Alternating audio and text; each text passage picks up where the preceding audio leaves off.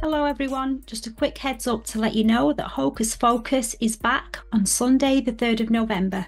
And I know a few of you have been asking when the next one's dropping, so I'm thrilled to confirm it's just around the corner. And we'll be diving back into that strange and wonderful world of Forteana, ontology, and folklore, all met with fresh topics and, as always, a few surprises.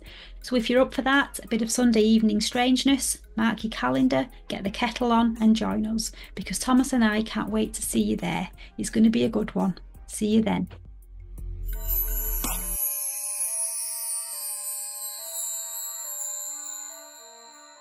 Ginger Fairies.